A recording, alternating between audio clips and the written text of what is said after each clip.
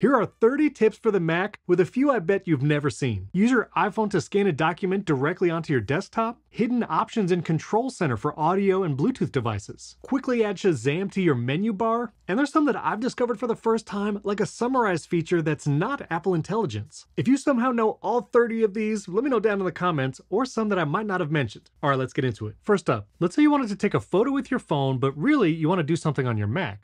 Well, two finger tap on your desktop and you'll see an import from iPhone. From there, you can see take photo and that will actually start the camera on your iPhone. You'll see it's opened up here. I can take a picture and then rather than having to airdrop it, I can just tap use photo. And just like that, the photo is automatically on my desktop way faster than having to airdrop it. Number two, in that same menu, not only can you take a photo, but you can also scan documents. When you select that, it'll start the camera on your phone again. And let's say you have a piece of paper here. We'll put the paper in the frame. Once it detects the edges, it will automatically snap a photo. This will even work for multiple pages. Tap save, and then every page that you scanned will be put into a single PDF and you'll have it right here. Number three, if you wanted to remove the background from a photo like this, you can do it two different ways. I can actually just right click on the photo here in Finder, go to quick actions, and you'll see remove background as an option. Choose that, and it will create a second image with the subjects cut out. Now it's just me without the background. You can also do this if you double click to open it in preview on your Mac. Then from here, go up to tools and you'll see remove background or just shift command K. It'll actually show you and highlight the subject from the background. Click that and it will remove the background as well. It'll ask to convert to a PNG to preserve that transparency and now you have the background cut out. Now let's say you have a photo and rather than cutting out the background, making it a PNG and then importing somewhere else, Maybe you just want to copy the subjects? Well, I can right click on the subject in a photo and you'll see copy subject as an option right there, or I can go straight to sharing a PNG with the background cut out of just the subjects. So I can copy and put it on my clipboard, or I'll click share subject. Then I can add this to something like an Apple Note, I'll just click notes here and you'll see the background is cut out and it will create a new note with just the subjects. Next, let's go up to the control center. Now there's a lot of controls here, but there's some hidden options when you hold the option key. For instance, if you click Bluetooth devices, you'll see your list of devices here, but it's pretty minimal. Now hold the option key on your keyboard and then click Bluetooth and you'll see way more information about every device. Not only its battery level, but also its MAC address and the firmware, including your AirPods. So if you ever want to check the firmware version on those, you can see that right here. Number six, another thing you can do with option clicking is in sound. When you click to expand the sound menu, all you get is your output option and the volume slider. But if you hold the option key and then click on sound, now you actually get an output and input chooser. So if you have a USB microphone or audio interface and you want to choose that as your main audio input, you can do that now right here by holding that option key and then clicking sound. Number seven, let's say you're watching a video like from this channel, which you should subscribe by the way, and you want to put this in picture in picture. Well, there's great extensions for that like over picture, and that's what I use right here, but you can do it with the built-in Safari feature. If you're on YouTube and you right click a video, you typically see this menu, which doesn't have a picture in picture option. But if you right click and then right click again, you'll see this menu and now you can enter picture in picture and that's the native Safari pip window. And now you can resize the picture in picture window, you can move it to a different corner and put it back in the Safari window. Number eight, you know Universal Clipboard means you can copy and paste on one device and the text will come over here, but it also works for pictures. So if I take a picture here on my Mac, I'll just do Command C to copy that picture and then if I paste here on my iPhone, it will actually paste the image from the computer. So it works with text and images. Also, when you're doing universal control, where you drag the mouse to the edge of the screen and it will go to another Mac or your iPad, you can actually drag and drop files and images as well. So if I take this image, start dragging it across my MacBook Air, and bring it all the way to my Mac Studio, now I can drop it, and that's actually copying the file to that device. Let's go back up to Control Center for a second, and let's say you wanted some control here in Control Center actually in the menu bar all the time. You'll see right now I don't have the sound icon here in the menu bar for quick access. Well, I can once again hold the Option key on my keyboard, click and hold on the sound control, drag it into the menu bar, and now I have those sound controls standalone right here. And if you wanted to do that Option click, it'll work on the symbol here in the menu bar, saving you a few clicks from having to go into Control Center. If you ever want to remove something from the menu bar, just hold the Option key, drag it out of the menu bar, you'll see the little X, and it will disappear. Don't worry, it's still in the Control Center. Number 11, you might know that Launchpad is a view which shows you all the apps. I use this whenever I have to delete an app from the App Store. This way I can just click and hold on an icon, click the X, and it will delete it from my Mac. But a quick way to access it is actually a five finger swipe in. So if you're on a Mac with a trackpad, just five finger swipe in and it immediately launches Launchpad. All right, tip number 12. I had never known about this before, but this TikToker actually has some incredible advice for all Apple devices. She previously worked at an Apple store. Highly recommend you follow her, but I had never heard of this until she mentioned it. On your Mac, go to your system settings, then here scroll down to keyboard. Once you're in keyboard, go to keyboard shortcuts, then go down to services. Once you're here, expand the text menu and then scroll all the way down and you'll see a summarize option. I had no idea this was here, but the feature is wild. Click done, and now whenever you have text on screen, you see I copied a bunch here in a TextEdit document. I'll Command A to select all, then I can right click this text, go down to services, and you'll see summarize is an option. These are all a bunch of shortcuts I have set up, but this summarize is that built-in action we just enabled. And when you click summarize, you get this pop-up window, again, which I have never seen. And here you can summarize sentences or paragraphs. And then dragging this summary size slider, I can go all the way to the left for a super short summary or drag it to the right for longer summaries and it does it that fast. I had no idea this was there. But enable that feature, highlight some text, right click services, summarize, and then play around with that slider because it is wild. All right, number 13, any folder, external drive, or server you have on your Mac, you can customize that icon.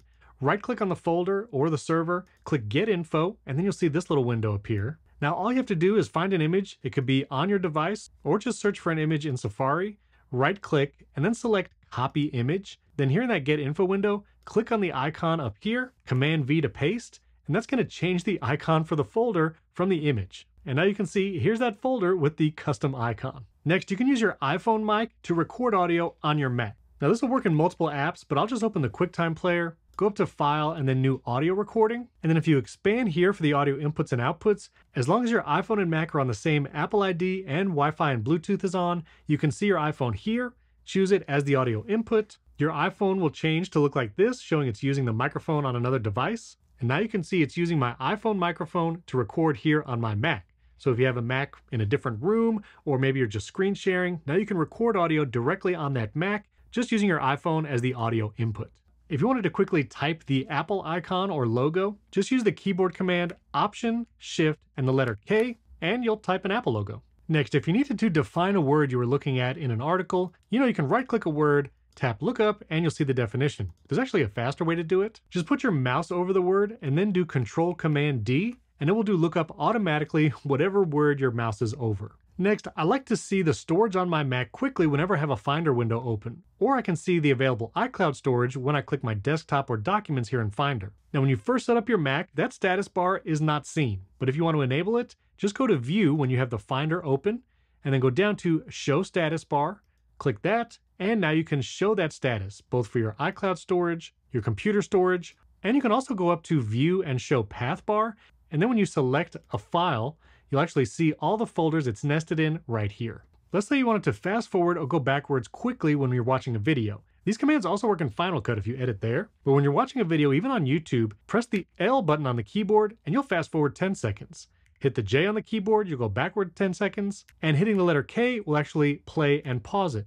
So you can quickly go forward, pause, go back, play, all just from the JKL letters on the keyboard. Next, if you have external drives or servers like a NAS, whenever they're connected to your Mac, you'll see them here on your desktop. But maybe you want to hide them because you don't access them very often.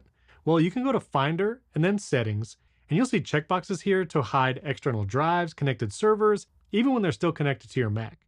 So I can uncheck connected servers, and now even though it's still connected and I can access it by going to the Finder You'll see under locations, that server is still connected, but I don't have to see it on my desktop. Next, if you have a large image and you need to compress it or make the file size smaller, you can do that without even opening it. Let's say you have a PNG here and it's pretty big. Well, I'll right click the image, go down to quick actions, and you'll see convert image is an option. When you click convert image, you can actually choose to make the image smaller in size, and you can also uncheck the preserve metadata if you want to remove things like the location it was taken, the camera it was captured with, then click convert, and now you have a JPEG version of that PNG. Using that same menu, you can also make PDFs. So I'll right click on an image here, choose quick actions, and you'll see create PDF is an option. That'll create a PDF of that single image, but that will also work if you select multiple items. This could be multiple pages, multiple PDFs, multiple images. And now that they're selected, I'll right click, do quick actions, and then create PDF.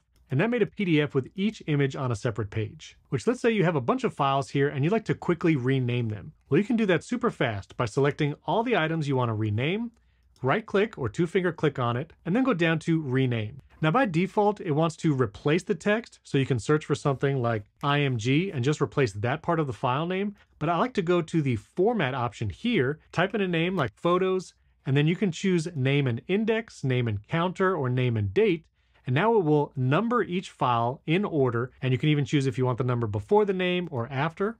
I'll choose after, rename, and now all those files are now renamed photo 123, 456, and you can do that with hundreds of files at a time. I think we're on tip number 23. If you want to unlock your Mac with your Apple Watch, just go to System Settings, and this setting is actually in the Touch ID and Password section. But here, any Apple Watch also on your Apple ID, toggle this on, and now when you're wearing it and you wake up your Mac, it will automatically unlock. By the way, while we're in the settings, if you have a laptop like a MacBook Air or MacBook Pro, go to the battery settings here in System Settings, and you'll see low power mode is an option, but you can choose to enable low power mode only on battery, always, or only on power adapter. So if you want to make sure you're getting the most battery every time you're disconnected from power, you can have low power mode disable all the time when you're on battery. And you'll see the symbol there in the top right just turn yellow, which means now I'm on low power mode. This is an older feature, but if you didn't know, maybe you lost your mouse somewhere on your display, you can shake your mouse quickly and it will increase in size briefly to help you find it. But if you wanted to just increase the size in general, you can go down to accessibility here in system settings, go to display, and then scroll down and you'll see you have lots of pointer options here. You can make the pointer large just all the time. And if you don't like that enlarging when you shake it, you can toggle that off here. And you can even change the pointer fill color. So if you'd like a dark green mouse, you can do that right here. Also in settings, go down to control center and here you can choose what appears in your menu bar.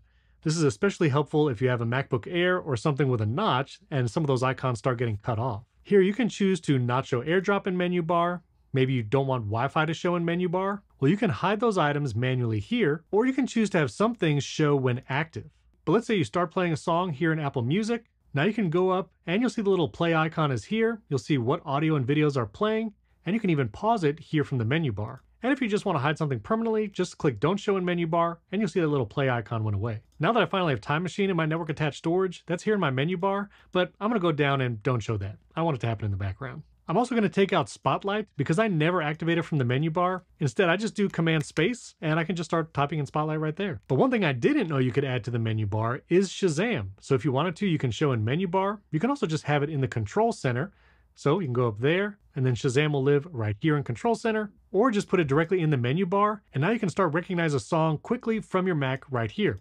Might be cool in a cafe just go up here and click recognize. And then once it recognizes a song, you can click the add to Apple Music library or the trash can to remove it from these recognized songs. By the way, if you want a shortcut that automatically adds Shazam songs to a specific playlist in your Apple Music, check out my video right here where I build exactly that. Also, while you're here in settings, go down to desktop and dock and here you can have different effects for apps. And the one I like to change here is the double click a Windows title bar to do what? By default, it's zoom, but I prefer minimize. This way, if I just double click up here, then I can quickly minimize it and it goes into the dock. Two more quick tips, go down to keyboard here in settings, and by default, pressing the globe icon if you have a Mac keyboard will show emojis and symbols, but you can also change that to start dictation by pressing it twice. If you change that option here, It'll ask if you want to enable dictation. It might have to download something in the background, but I'm going to choose to enable. And now when I double click that globe icon, it's listening to whatever I say, and it's going to transcribe that as I talk right here on my Mac. And finally, if you have apps that you use all the time with commands that you do over and over, create a keyboard shortcut specifically for that action. You can do that by going into System Settings, Keyboard, and then Keyboard Shortcuts. Then go down to App Shortcuts, and you can add as many shortcuts as you want for specific apps. So for instance, for Final Cut Pro, I have a keyboard shortcut that lets me export the XML file for the project I'm working on. I can also import an XML with this keyboard shortcut. All you need is the exact menu option to create a keyboard shortcut. For instance, here in Bear, maybe I want to add a keyboard shortcut or change it for a specific command. Let's say I want to show notes and editor. Right now that's set to Control 2, but I can change that. So show notes and editor is the exact command. Here in settings, I'll click plus, choose what application you want this to apply to, or it could be all applications. I'm going to type that menu command exactly as it appears in the app. And then for the keyboard shortcut, I'll input a keyboard shortcut here. Now that saves it. And if I'm back in Bear, I can go up to View, and you'll see the keyboard shortcut changed for that command. Now Show Notes and Editor is the keyboard shortcut I programmed. Now I can do that keyboard shortcut and it will change the view automatically. So those are 30 tips for your Mac. If you knew all 30, that's impressive. Let me know down in the comments. And if there's some hidden tips and tricks that you've seen somewhere, let me know where you saw them so I can give credit, like this TikToker, which you should definitely follow. And her link is down in the description as well. Don't forget to subscribe to the channel, hit that like button. Lots of tips. iOS 19 is coming out, and WWDC, where Apple announces all the software updates. I'm actually going to be there in person. I was invited for the first time this year. So subscribe for content live from DubDub in a couple weeks. You can see one of my videos about hidden iPhone tricks right up here, and YouTube thinks you'll really love this video. Thanks for watching. I'll catch you next time.